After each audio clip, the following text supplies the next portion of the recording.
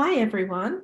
Welcome to today's webinar, Bridging Gaps, Cultural Responsiveness in Delivering Education and Employment Outcomes for People with Disability from CALD Communities.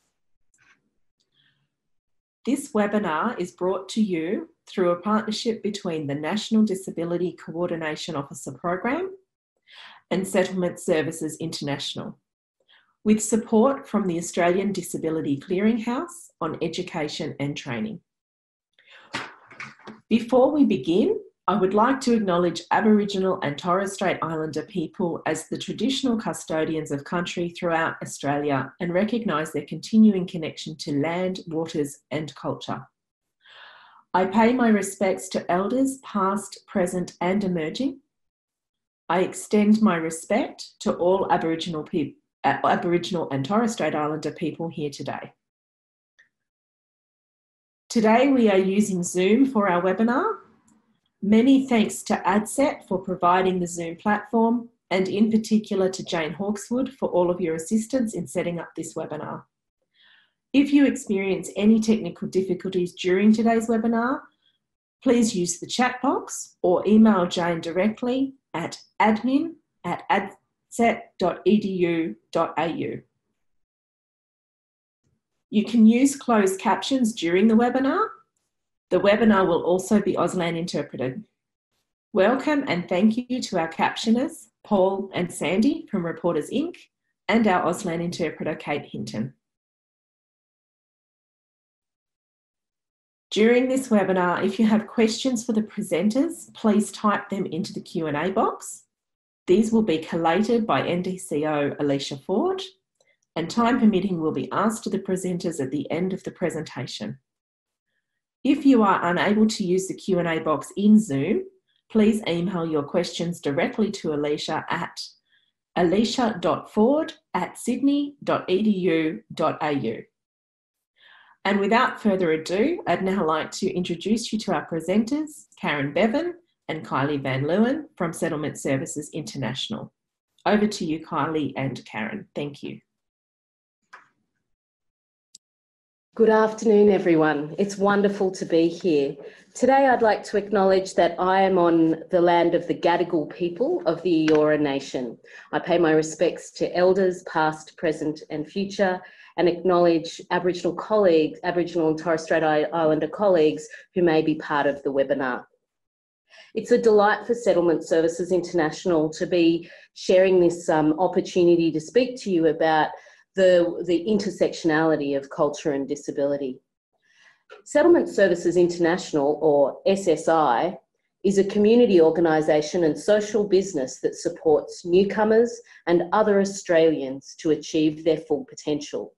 We work with all people who have experienced vulnerability, including refugees, people seeking asylum, and many culturally and linguistically diverse communities to build capacity, enable them to overcome inequality. On the slide in front of us, you can see that there are eight circles and they represent the people that we work with at Settlement Services International. We work with refugees, people seeking asylum, children and young people in foster care, young people, migrants, people seeking employment, people with a disability, and entrepreneurs. Formed in 2000, SSI, as we're known, is also the statewide umbrella organisation for 11 migrant resource centres and multicultural services across New South Wales. SSI draws on its expertise and experience to advocate for the people and communities it serves. Through the work we do, we empower people to change their lives. Through our advocacy and representation, we seek to influence ideas and policy. SSI offers a number of government funded services along with other uh, self-funded initiatives that we, add, that we fund ourselves to add value to our contracted programs. We provide training to support service providers to work more effectively with people from culturally and linguistically diverse backgrounds and build their own diversity and inclusion within organisations through culturally responsive practice and building a diverse workforce. At the end of the um, webinar, I'll take you through a number of resources that SSI delivers that um, might be useful in terms of people's work in this area. As I go through the, the webinar, I will use the term SSI for Settlement Services International, and I will also use the term CALD to um, as an acronym for culturally and linguistically diverse, um, just so that um, you're aware if I if I use that that language. So SSI's vision is to which appears on your screen is to achieve a society that values the diversity of its people and actively provides support to ensure meaningful social and economic participation and to assist individuals and families to reach their potential. Our bilingual and, bi and culturally diverse workforce, um, and 70% of our workforce are people who are from a cult, uh, identify as culturally and linguistically diverse. Um, our, so our workforce speaks over 90 different languages and it enables us uh, to overcome many cultural and language challenges that can inhibit access and successful service delivery.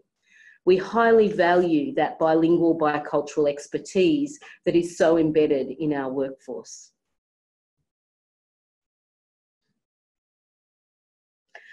Our presentation objectives today are also presented on the screen. There are four boxes and I'll just read each of them before moving on to the next slide.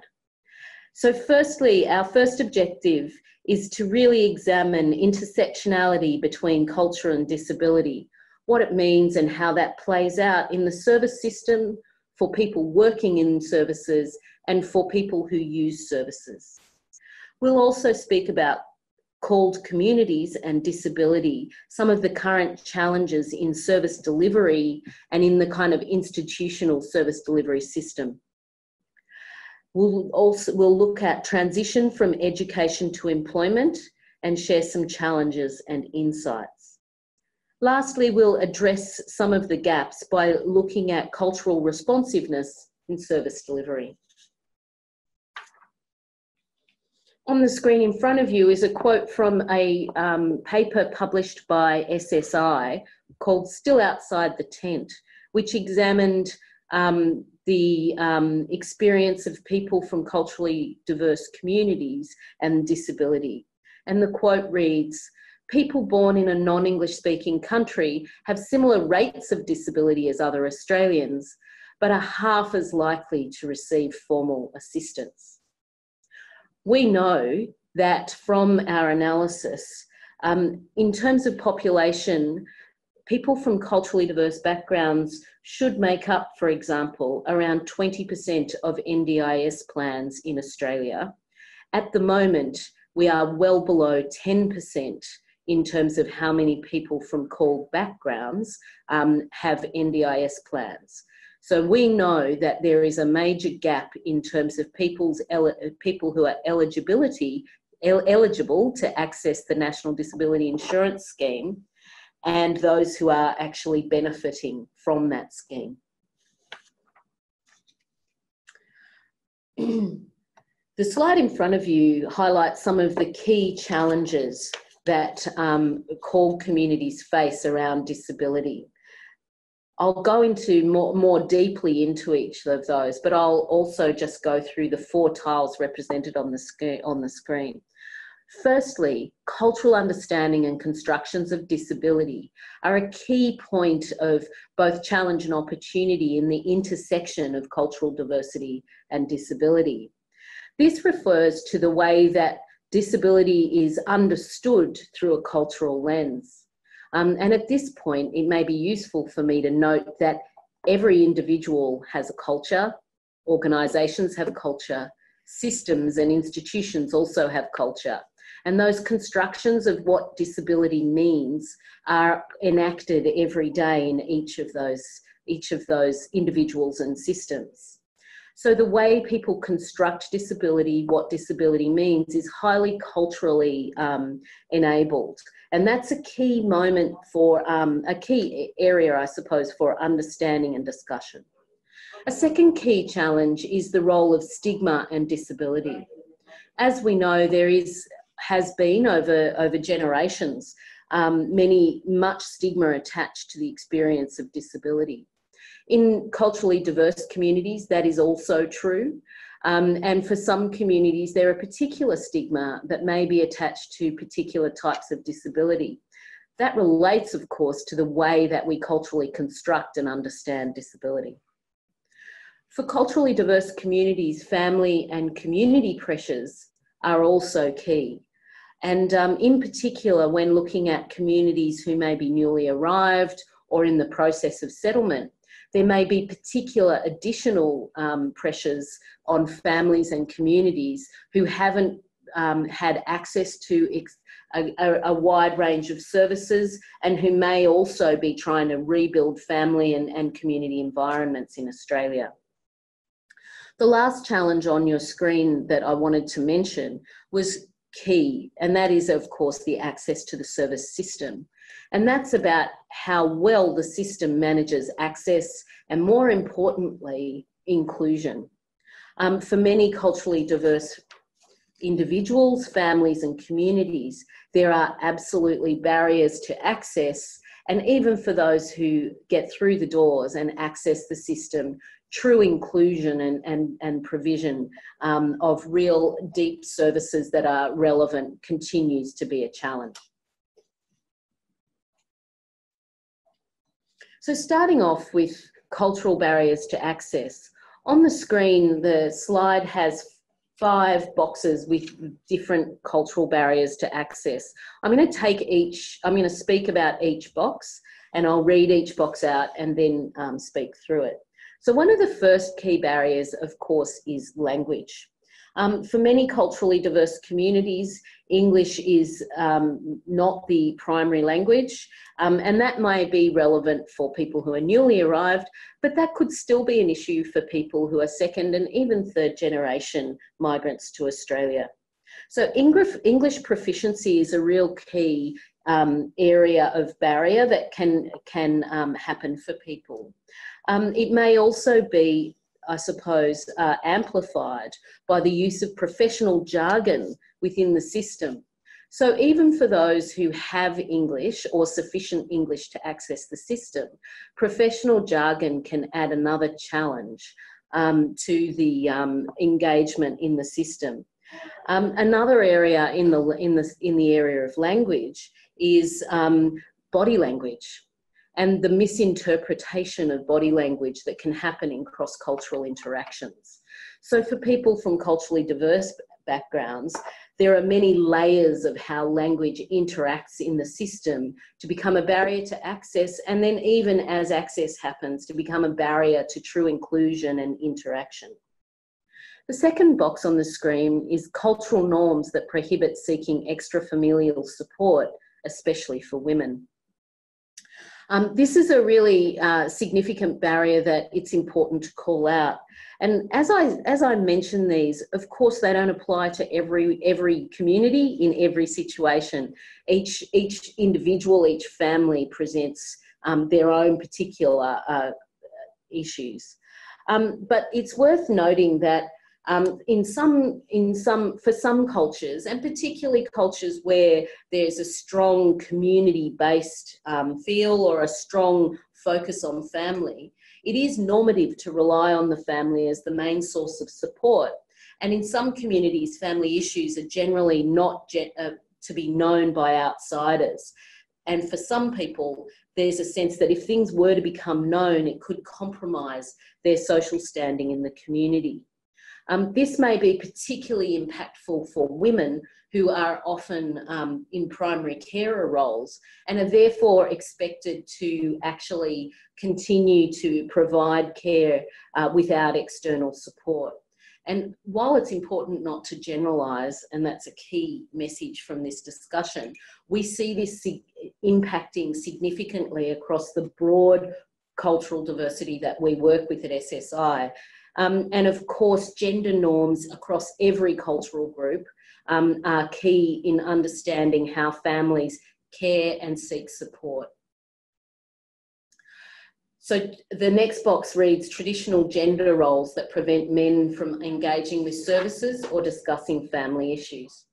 So traditional gender roles, as I mentioned, are, you know a, a, factor in every single culture in every part of the globe, um, and th- those gender norms may operate both in um, putting pressure on women as primary carers, but they may also create barriers for men and women in different ways to seeking and, and using supports that are available.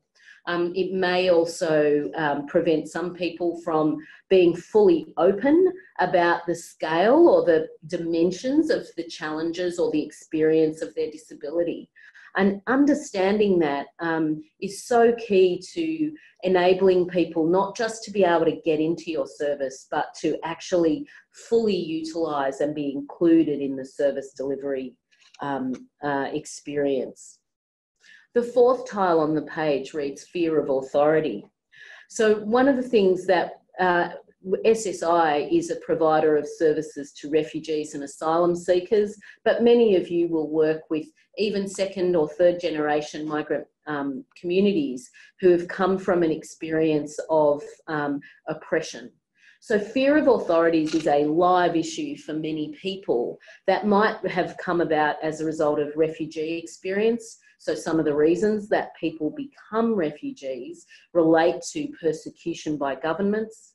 It may include things like the medical system being used to um, persecute people or administer punishment.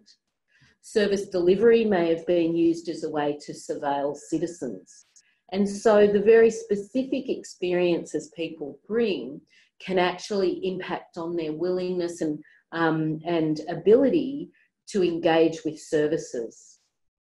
For people with disabilities, this may be layered underneath all of those other issues that I've talked about that then becomes not only am I scared of the of what authorities or government services might deliver, but I also feel that I'm not um, high, I'm not uh, valued or prioritised.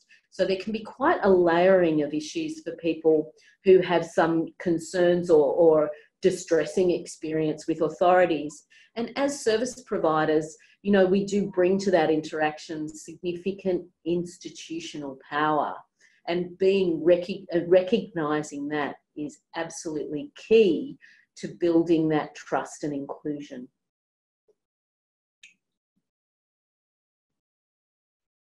The last barrier that I've that is on the slide is stigma, and I've already discussed this, so I won't spend a lot of time. But I think that from our experience with culturally diverse uh, clients or participants in our program has been um, that the stigma attached to disability in their community ha, um, has often prevented people from getting the support they need when they need it. It may also prevent people from acknowledging the breadth of support they need. Um, it may also have played out in ways that reduce trust and, um, and effectiveness of service delivery. Um, attached to that also is some of the stigma and societal attitudes to people from a range of cultural groups. So, stigma can look like being about stigma attached to disability, but it may also play out through uh, a lens of judgment of particular cultural groups. So it's important to think about again that intersectionality of the experience of disability and the experience of cultural diversity. And it is important that we call out there has been, and, and, and some people continue experience um, institutional racism in the way that they have been treated by service systems. Um, and that's an experience that we need to acknowledge and um, we also need to address in the way we work with people.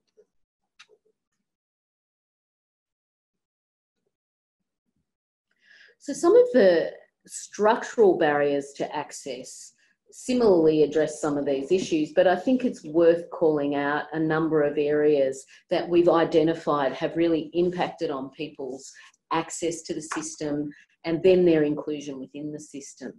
On the screen, um, there are four boxes which highlight four particular types of um, barriers, and I'll go through each one and read the tile and then explain. So, firstly, we are, there are practical barriers to accessing services. As we know, um, many people with disabilities experience physical and uh, access barriers to literally accessing a service. For people with cultural, from culturally diverse backgrounds, they may, may be added to via things like um, being newly arrived and not having that um, experience of how to actually physically get to a service, how to use a telephone service, how to use the English required to access online services. Um, we also know, particularly for newly arrived refugees, that location may play a part in access. So people might be in um, areas where there is limited public transport.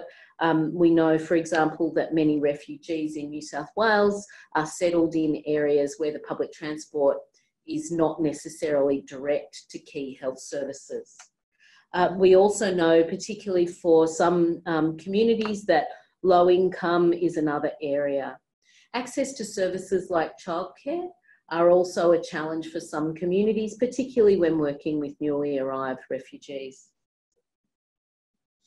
Um, secondly, there's a, often a lack of understanding of services available, or you could reframe that to say there's a, a poor engagement of the service system in, in communicating to people about the services available. So this might be tied in with language barriers, but it could also reflect um, lack of dissemination of information at a local level in the in language or in ways or in venues where people from culturally diverse backgrounds can most access it.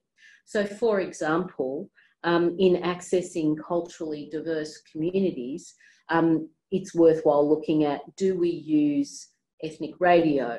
Have we got translated information? Have we got people who can answer the phone in language?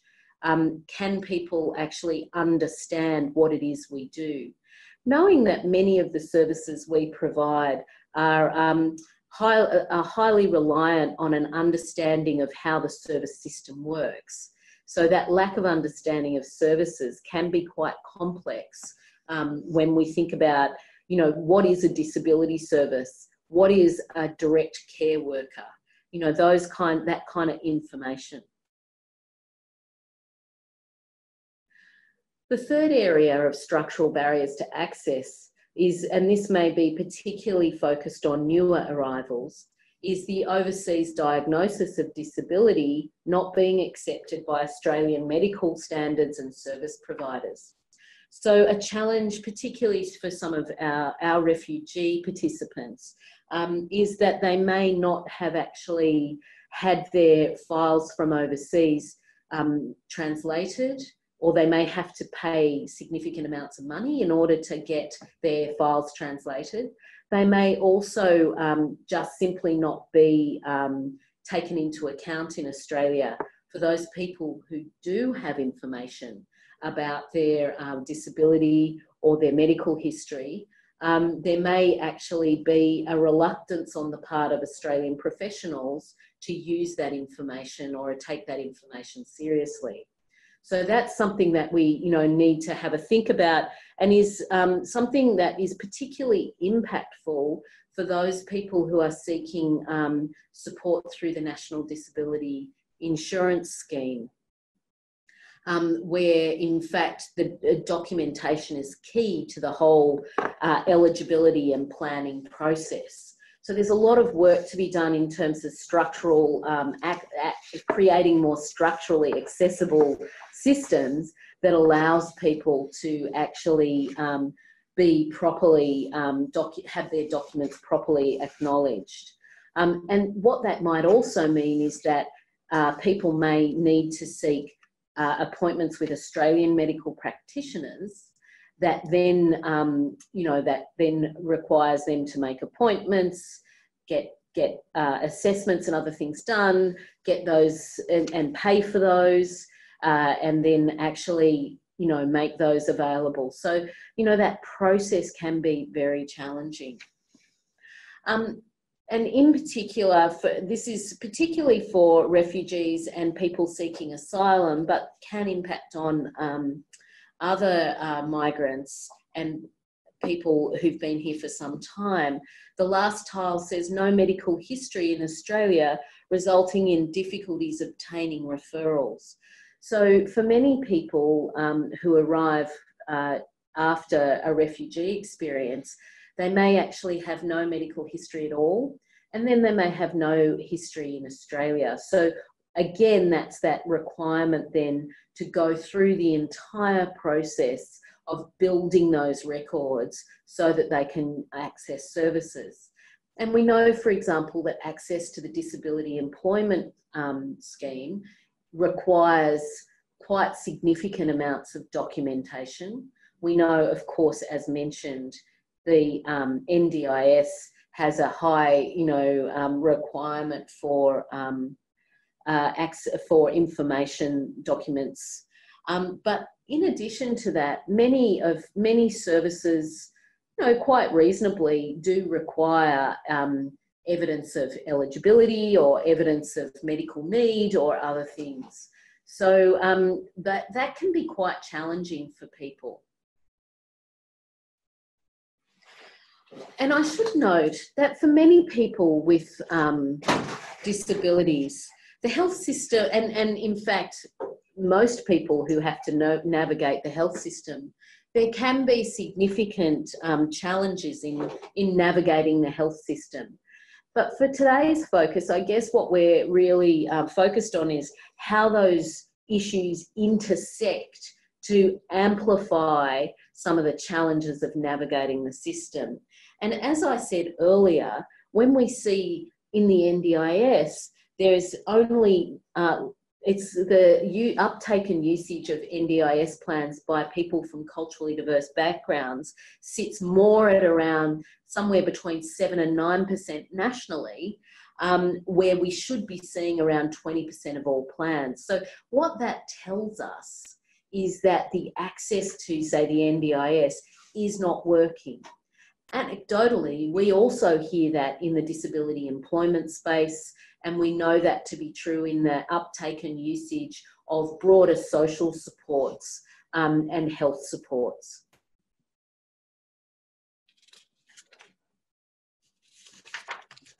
So some of the barriers service providers can perceive or experience, I suppose, which is, you know, flip side of the barriers that participants or, or people with disabilities from culturally diverse backgrounds experience trying to access the system.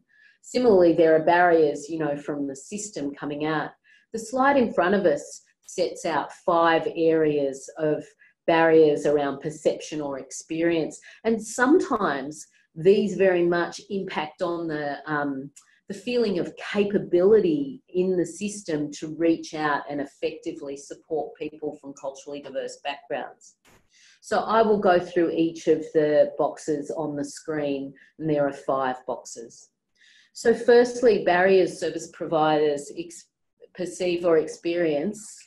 Um, firstly, low confidence to address the needs of culturally diverse individuals and families. So, what we do see um, and, and hear from colleagues is that there is a concern that people feel like they don't know how to reach out, that they feel that they maybe um, don't understand people's needs, or that they feel that perhaps at times um, they're not equipped through to use interpreters or to get appropriate translated material.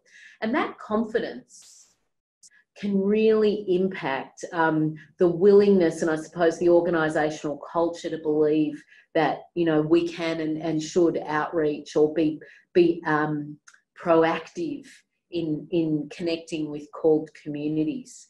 So that's a real challenge in the service system and one that we really need to address through training, support, um, and building our staff's capability around cultural responsiveness. Secondly, uh, a key barrier for services is that their practice is not culturally responsive. So, where we have very rigid ways of engaging with people that don't take into account the experience of the person in on the other side of the desk, if you like, um, that might uh, actually prevent a genuine engagement. So we might reach out, but yet not be able to provide a, a proper or full service to a person uh, because the way we are engaging simply doesn't reach or meet that person's needs. I think no one will be surprised by the third area, which we talk about inadequate resources.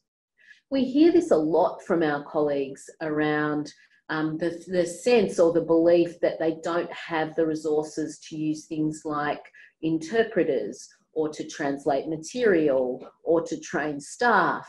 And we know that many of us are working across a highly constrained service system.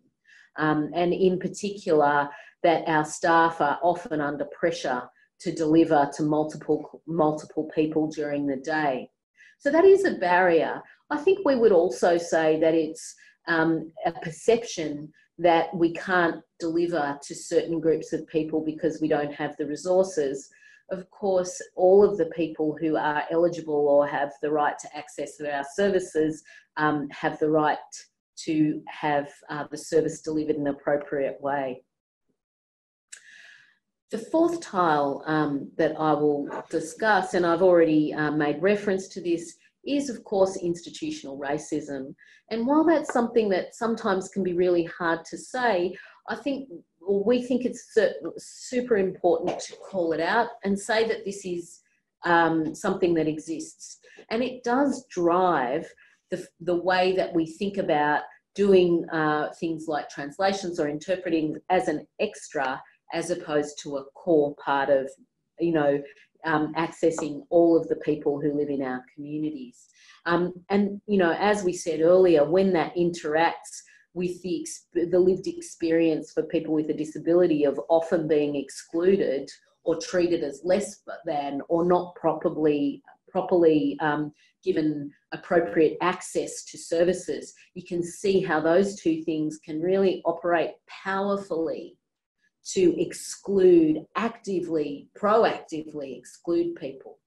Um, institutional racism is not a way of accusing people in the room or on this webinar of being racist. What it is about saying is that our systems are sometimes built in a particular cultural context and they continue to operate with moving forward that way. So what we need to do is stop, call it out and, and, and make change.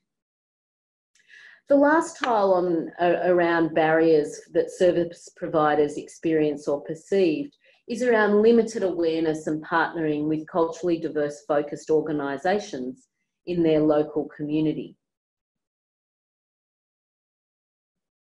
So I know that one of the strengths of the NDCO program has been, uh, for example, that those roles have really connected with cultural organisations to, I hope, uh, to um, engage and build relationships to further connect with people in culturally diverse communities through their or the organisations that exist that um, people engage with because of cultural practice or shared interest or faith-based organisations.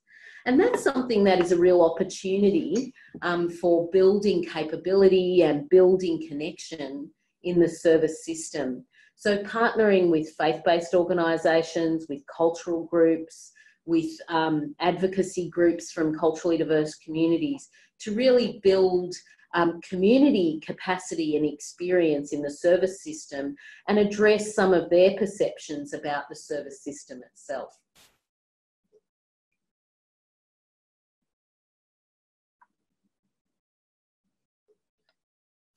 So we're moving on now to really thinking about how we address the, the gaps in, um, in, in um, cultural awareness and competency in service delivery.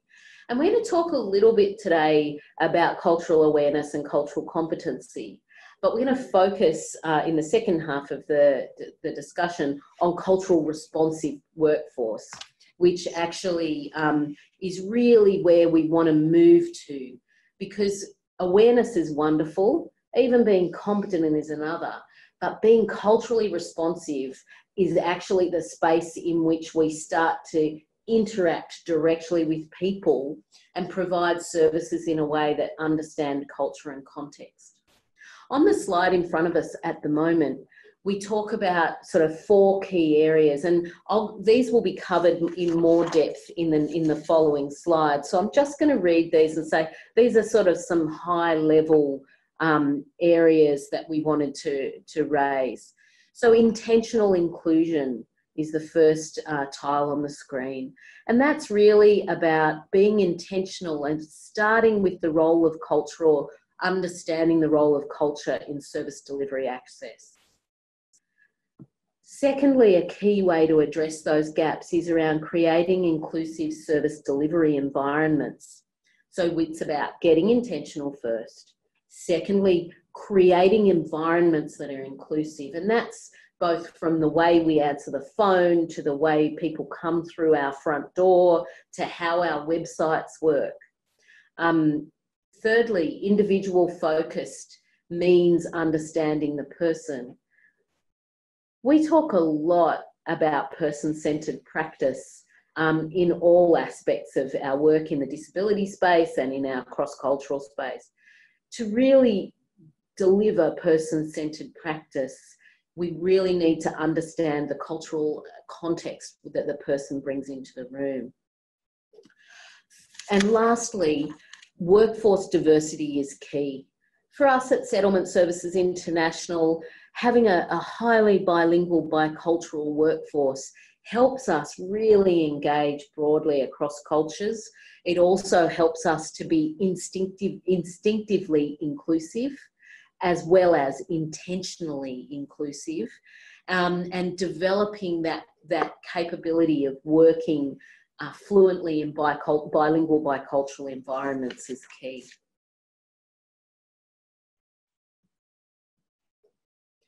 So, moving on now into how to build culturally responsive services. Again, as I said, you know, we talk about cultural awareness, and that is a great thing. We talk about cultural competence, and that's, you know, even better. But building that culturally responsive approach is, is absolutely key. On the, on the slide in front of um, you, there's six tiles which, you know, out, outline um, what a culturally responsive service might look like. And there's also a photo, which is a group shot of, uh, of people from culturally diverse backgrounds. So this, the six tiles on the screen, I'm, I'm really just going to quickly go through them and then I'll focus on the next couple of slides. So we've got building organisational capacity to work cross-culturally. That's about building um, our ability to do that work as individual workers, as teams, as leaders, um, and that means having that, that understanding from the board to the CEO, management, project, field, and administrative staff. Secondly, developing the culturally cultural responsiveness of the workforce. This needs to include face-to-face training that allows for deep self-reflection, discussion, and personal growth. Um, despite our own highly culturally diverse workforce at SSI, we understand that everyone needs support to develop in this area. And every regardless of your cultural background that self-reflection is key. We also understand that diversity has many dimensions um, and the, those need to be explored as well. The third tile says recruit a diverse workforce and i think i've covered that. But you know the opportunities for um, you know, really amplifying the expertise of people with bilingual, bicultural backgrounds. The fourth tile says provide and use language services. That means use interpreters when they're required, um, accessing uh, translation, um, making sure that we're really thoughtful about how we use those services and that we use them when we need them. But we might also call on um, the particular skills of others in the organisation. The fifth tile says engage with CALD communities and multicultural service providers. And just couldn't call this out enough. You know, as, a, as an organisation with 11 Migrant Resource Centre members, um, the, the, the embeddedness of organisations that are linked with culturally diverse communities really provides an opportunity to connect with those communities um, and partner with those service providers in ways that will help us really improve the system's reach to culturally diverse people. So, you know, identifying who those communities are in the local area and building those relationship, relationships. The last tile in this slide says make resource provisions to support the strategies. I think I alluded to this earlier. In a constrained resource environment, it can be um, a challenge to allocate resources. But when we see the world through an understanding that everybody has the with who's eligible may have the right to access our services, it is absolutely incumbent on us all to allocate resources to support this work.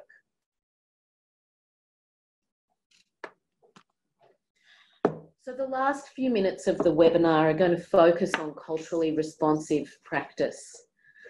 The slide in front of us just includes a, a definition of that. So culturally responsive practice is delivering a service and interacting with people in a way that is respectful of and relevant to the beliefs, practices, culture, and linguistic needs of diverse populations and communities. Culturally responsive practice is more than just, and I say that with um, apostrophes, just being respectful um, or tolerant of others' difference, but it is actually about seeking ways to find, uh, to work with people that are relevant to their culture and experience. And that, include, and that includes many things such as how they understand their context and, what, and the solutions they want. Um, it's much more than awareness. It's engaging with people's beliefs and working with the person as they are.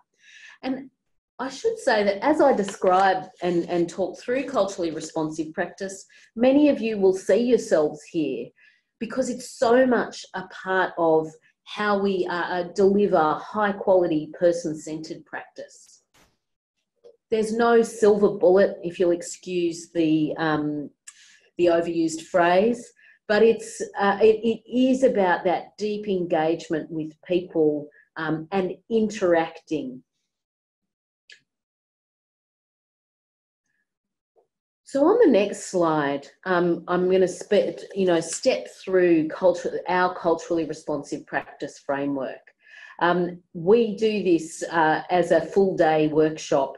This very this slide is usually a full day workshop, but we wanted to kind of step out how it is that we understand uh, culturally responsive practice and, and how it can work. And as I said, many of you will see yourselves in here. Um, and that's the great, you know, strength of, of the system is that we have many of these skills and capabilities. Now it's about how do we amplify and, and really scale that up. So on the screen in front of us, we have a slide that has three bubbles and I'm gonna and um, I'm gonna talk through those. Basically, the bubbles represent an interaction between two people. So at the top of the slide, there's a bubble that says, "What do I bring?" and then plus a plus sign, and at the bottom there's a bubble that says, "What do they bring?" On the left hand of those bubbles are some factors that we need to talk through, and I'll, I'll call those out specifically.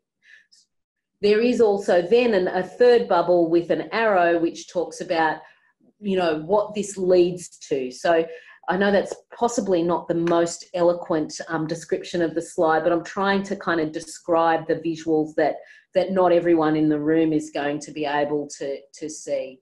So, um, culturally responsive practice recognises that there every interaction has two sides whether it's one to many or one to one, one to three, um, there's always two sides in that in that interaction.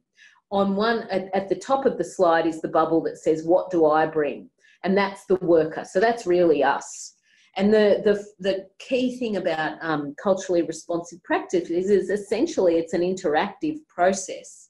So in in order for it to be a truly interactive process, we've got to start with the person who's delivering a service. And key to that is that deep sense of understanding where you actually ask, Who am I? What is my culture? And it's worth, you know, me saying at this point that everybody has culture. No matter who you are in, in whatever room, every individual has a cultural context that they bring.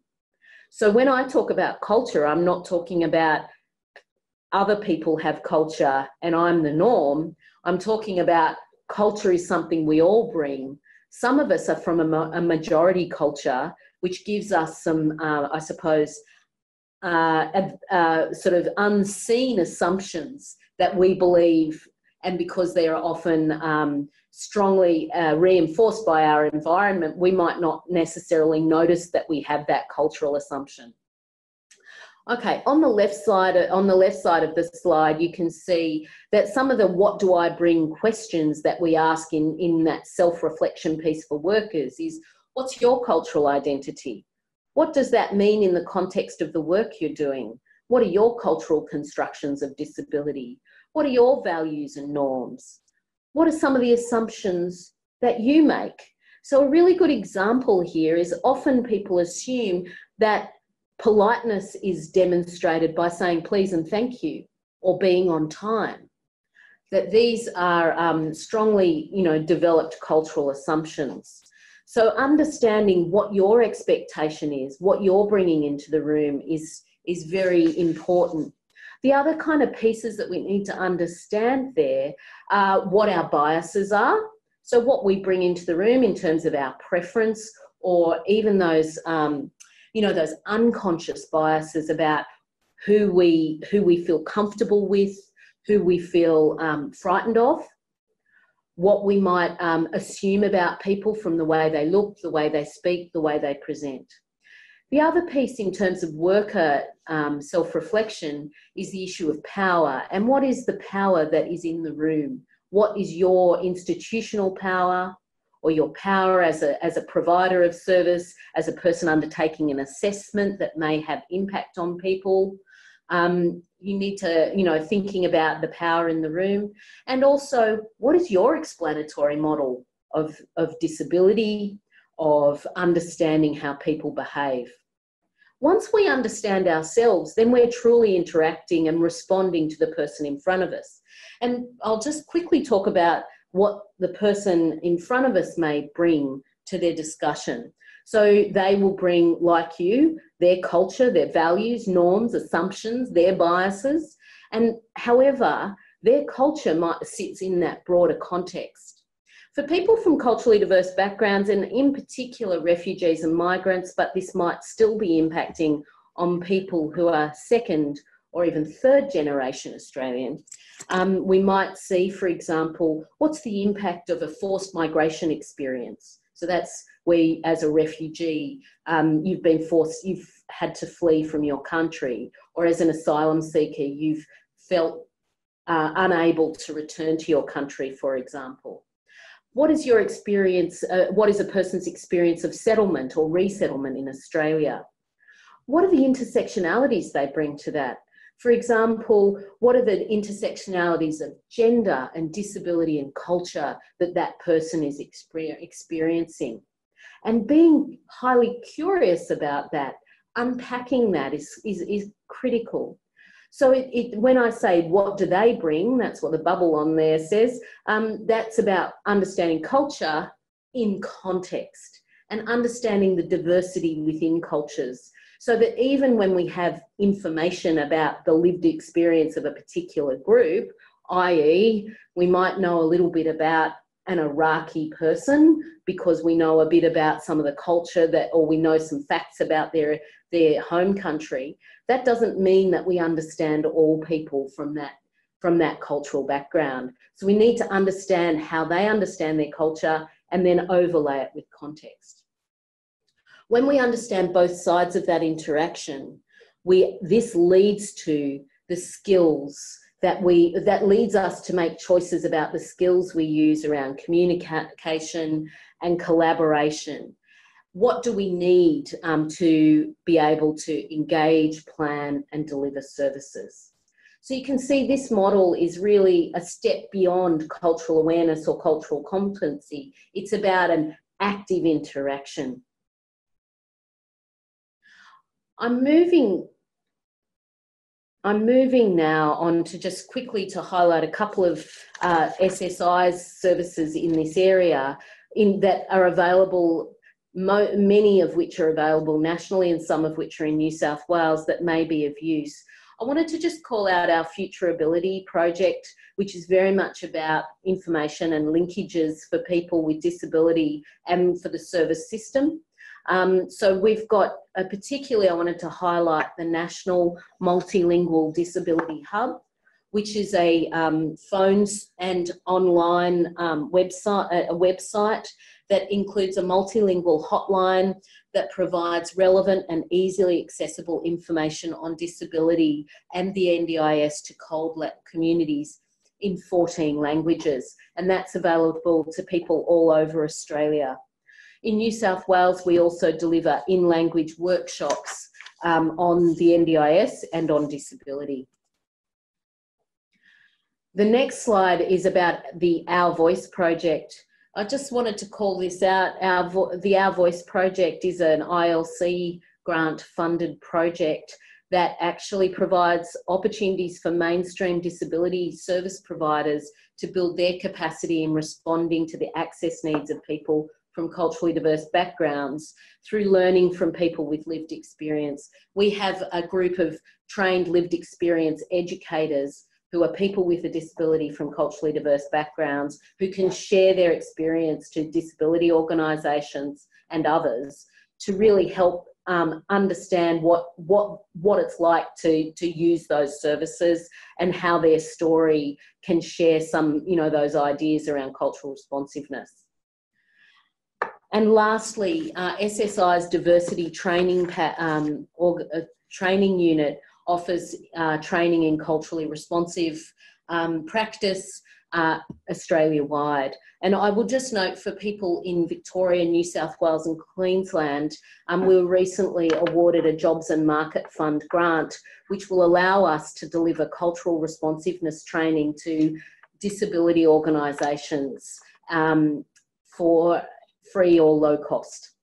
So that service will be available into the future. I realise that I've gone over time, so I will stop now and uh, will address some of the questions.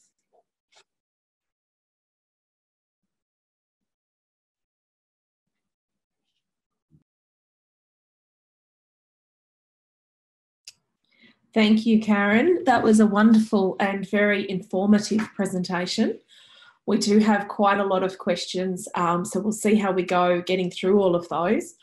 I would just like to remind people that if we don't get to your question or you feel like it hasn't adequately been covered, um, there is an opportunity after the webinar to complete a short survey and you do have free text box options there to ask additional questions. So we'll just get started with the, the first of the questions that have come through on the webinar today. Um, we have a question about how can universities help to support students from culturally diverse backgrounds who have identified as having a disability to transition into graduate employment? Um, and, and second part of that question, what assumptions do we make about employment that are not culturally responsive? For example, full-time employment as a measure of graduate success, even though that not, may not match an individual's aspiration. Um, what a great question. I think um, some of that you would take as a comment, really.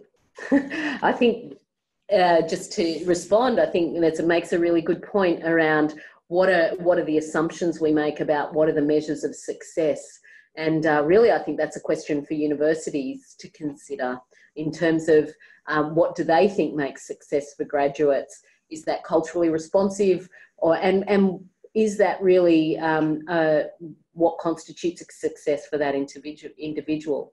But the first part of that question was about um, what makes what how can universities be more responsive to the needs of CALD students with a disability? I think the many of the components of the presentation today address that. I think you know we're we're making that leap into firstly believing that people um, with disabilities should be able to access every part of the university life and education, and I think that in all that you know that's you know the first frontier that many universities are still addressing.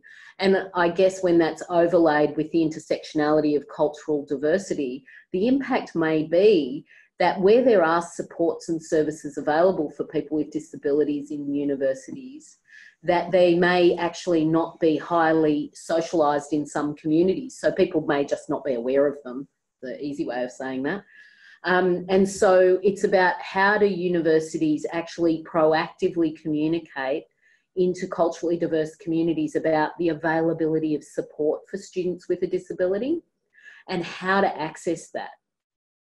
I'm not an expert in the, in the university space, but I, I think that it would be fair to say that for many students, the bureaucratic process of accessing support can be challenging.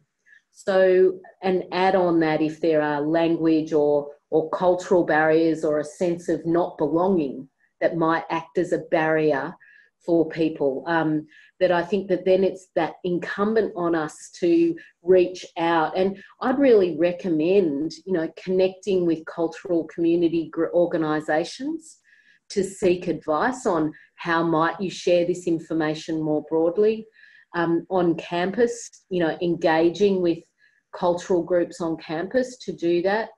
But also, and the challenge, of course, is that making sure that this is part of the conversation when we talk about how we fund student services. Fantastic. Thanks, Karen. I'm going to move us to the next question. Um, and before I do, just acknowledging we will not have time to get through every question. Are you happy, Karen, for us to send you a list of the questions and, and get some written responses that we can send back out with oh, absolutely. We're very happy you know and happy for people to reach out and and have a conversation. Wonderful. Thank you. Just going to share an observation from one of our attendees today. Um, and this is around the parallels between CALD communities and the deaf community. The observation is that in many ways the deaf community is also a CALD community, despite the majority of people being born here into English speaking families.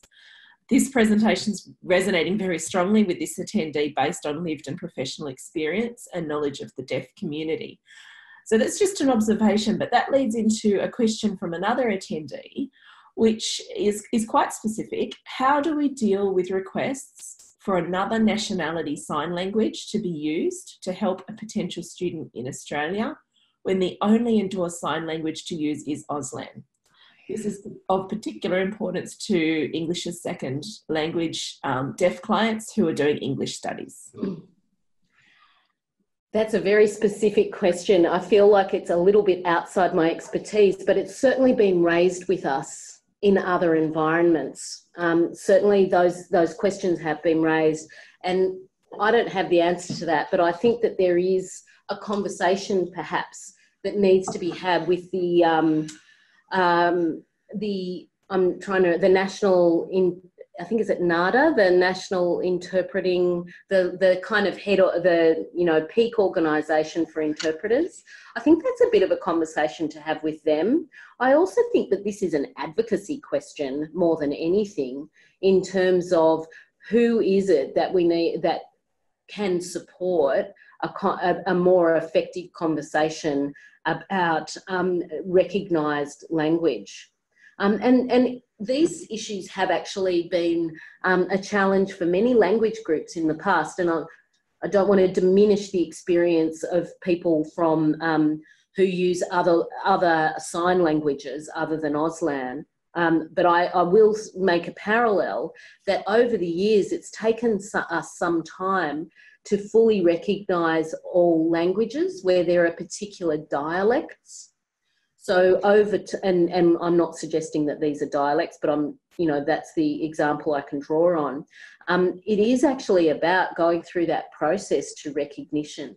Um, so I'm not 100% sure of the exact pathway to that, but certainly happy to um, think about who might be a good who might be the conversation starter because I suspect that's an advocacy question rather, rather than one I can answer. Thank you, Karen. Final question because we are just over time. Um, with the 14 languages included on the Disability Hub, does that include Aboriginal languages? Uh, no, it doesn't. And um, I should have said this at the very beginning. Um, we work with primarily people from culturally diverse communities who are not Abri- and Aboriginal and Torres Strait Islander people. I recognise the extensive cultural diversity there.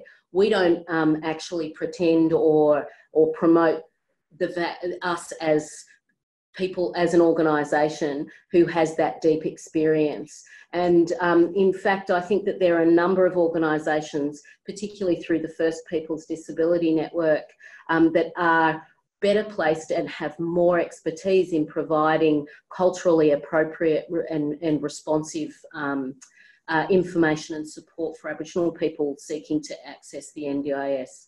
But a terrific question, and thank you for picking that up. Thanks so much, Karen. I'm going to wrap us up there and just remind people to complete the short survey at the end of the webinar, which will pop up on your screen. Um, we will try and get some answers for you for the remainder of the questions. I've got about a whole page and a half of them here for you, Karen, just a heads up. Um, and for all of our attendees, we will try and send you the responses to those questions along with the recording of the webinar when that's available.